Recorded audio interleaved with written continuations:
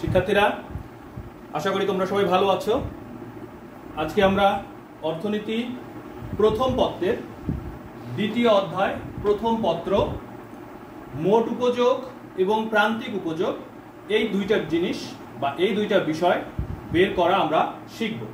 আমরা এখানে দুটি প্রশ্ন তুলে নিয়েছি। আমাদের টপিক আজকে তোমরা মনে রেখো, মোট উপযোগ দেওয়া থাকলে প্রান্তিক উপযোগ নির্ণয় করব কীভাবে এবং প্রান্তিক উপযোগ দেওয়া থাকলে আমরা মোট উপযোগ নির্ণয় করব কীভাবে? আমরা যশোর বোর্ডের একটি প্রশ্ন নিয়ে নিয়েছি। যশোর বোর্ড একুশ। এই প্রশ্নের গ নাম্বারে আছে, দ্রব্য দেওয়া আছে, মোট উপযোগ দেওয়া আছে, আমরা প্রান্তিক উপযোগ বের করব। আমার মনে হয় তোমরা স্পষ্ট দেখতে পাচ্ছ, দ্রব্য দেওয়া আছে, মোট উপযোগ দেওয়া আছে, দ্রব্য এক, দুই, তিন, চার, পাঁচ। মোট উপযোগ দেওয়া আছে পঁচিশ, পঁয়ত্রিশ, বিয়াল্লিশ বিয়াল্লিশ, চুয়াল্লিশ, চল্লিশ। তোমরা অবশ্যই বই বের করে নিয়ে তারপর বিষয়টা সমাধান করবে। দেখো, প্রথমে দ্রব্য আর মোট উপযোগ দেওয়া আছে, প্রান্তিক উপযোগ বের করতে হবে। ঠিক একইভাবে রাজশাহী বোর্ড একুশে দ্রব্য কিন্তু প্রান্তিক উপযোগ দেওয়া আছে, এখানে উল্টো বিষয়। এখানে আমাদেরকে মোট উপযোগ বের করতে হবে। তাহলে আমরা প্রথমে মোট উপযোগ দেওয়া আছে, আমরা প্রান্তিক উপযোগ বের করি। আমাদের মোট উপযোগ দেওয়া আছে, আমাদের গ নাম্বারে বলছে প্রান্তিক উপযোগ। প্রান্তিক উপযোগ, আমরা কি নির্ণয় করব? প্রান্তিক উপযোগ। তাহলে শিক্ষার্থীরা, তোমরা দেখো, প্রথমে মোট উপযোগ পঁচিশ হইলে প্রান্তিক উপযোগও পঁচিশই হবে। এখন মোট উপযোগ পঁচিশ থেকে পঁয়ত্রিশ কত বাড়লো? দশ।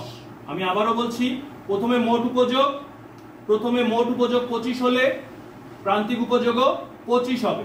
তারপরে প্রান্তিক উপযোগ কাকে বলে? মোট উপযোগের পরিবর্তনকে প্রান্তিক উপযোগ বলে। আমি আবারও বলছি, প্রান্তিক উপযোগ কাকে বলে? মোট উপযোগের পরিবর্তনকে প্রান্তিক উপযোগ বলে। তাহলে পঁচিশ থেকে পঁয়ত্রিশ, পরিবর্তন কত হলো? বা বাড়লো কত? তাহলে পঁচিশ থেকে পঁয়ত্রিশ বাড়লো দশ। পঁয়ত্রিশ থেকে বেয়াল্লিশ বাড়লো সাত। বেয়াল্লিশ থেকে বেয়াল্লিশ বাড়লো শূন্য।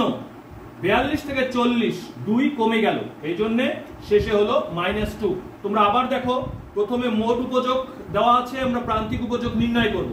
মোট উপযোগের পরিবর্তনকে প্রান্তিক উপযোগ বলে। সংজ্ঞাটা মনে রাখবা। মোট উপযোগের পরিবর্তনকে প্রান্তিক উপযোগ বলে। তাহলে প্রথমে মোট উপযোগ যা, প্রান্তিক উপযোগতা। এই কথাটাও মনে রাখবা। প্রথমে মোট উপযোগ যা, প্রান্তিক উপযোগতা। প্রথমে মোট উপযোগ পঁচিশ হলে প্রান্তিক উপযোগ হবে পঁচিশ। এখন পঁচিশ থেকে পঁয়ত্রিশ কত বাড়লো? দশ। পঁয়ত্রিশ থেকে বিয়াল্লিশ কত বাড়লো? সাত। বিয়াল্লিশ থেকে বিয়াল্লিশ কত বাড়লো? শূন্য। বিয়াল্লিশ থেকে চল্লিশ কত কমলো? মাইনাস দুই। তাহলে আমরা এভাবে শিক্ষার্থীরা মোট উপযোগ থেকে প্রান্তিক উপযোগ আমরা বের করতে পারি। এটা যশোর বোর্ড একুশ, তোমরা বইয়ে দেখে নিবা। কিন্তু দেখো, রাজশাহী বোর্ড একুশে বিষয়টা উল্টে গেল। এখানে প্রান্তিক উপযোগ দেওয়া আছে, আমরা মোট উপযোগ বের করব। এখানে প্রান্তিক উপযোগ দেওয়া আছে, আমরা মোট উপযোগ বের করব। এখানে বিষয়টা এমন, প্রান্তিক উপযোগকে যদি আমরা যোগ যোগ করি, তাহলে আমরা মোট উপযোগ পাবো। প্রান্তিক উপযোগকে আমরা যদি যোগ করি, সমষ্টি করি, তাহলে আমরা মোট উপযোগ পাবো। প্রথমে প্রান্তিক যা মোটো তা। এটা আমরা কিন্তু এখানেও দেখেছি। মোট যা প্রান্তিক তা। তাহলে এখানে প্রান্তিক যা মোটো তা। এবার আমরা প্রান্তিক উপযোগ যদি দেওয়া থাকে, প্রান্তিক উপযোগ যদি দেওয়া থাকে, তাহলে আমরা যোগ করব। আমরা যোগ করলেই পেয়ে যাব। বিশ আর ষোলো, প্রথমে মোট যা প্রান্তিকতা দুইটাই বিশ। এরপর আমরা যোগ করব। আমরা কি করব? যোগ করব। বিশ আর ষোলো, ছত্রিশ। বিশ আর ষোলো, কত হয়? ছত্রিশ। ষোলো আর বারো, ছত্রিশ আর বারো, কত হয়? আটচল্লিশ। আটচল্লিশ আর আট, কত হয়? ছাপ্পান্ন। ছাপ্পান্ন আর চার, ষাট। ষাট আর শূন্য, ষাট। ষাট থেকে চার বিয়োগ গেলে ছাপ্পান্ন। ষাট থেকে চার বিয়োগ গেলে ছাপ্পান্ন। শিক্ষার্থীরা, তোমরা দেখো। প্রথমে প্রান্তিক যা মোটতা তারপর আমরা এগুলো যোগ করলে, আমরা এগুলো যোগ করলে মোট উপযোগ পাওয়া যাবে। বিশ আর ষোলো, ছত্রিশ। বিশ আর ষোলো, ছত্রিশ। ছত্রিশ আর বারো, আটচল্লিশ।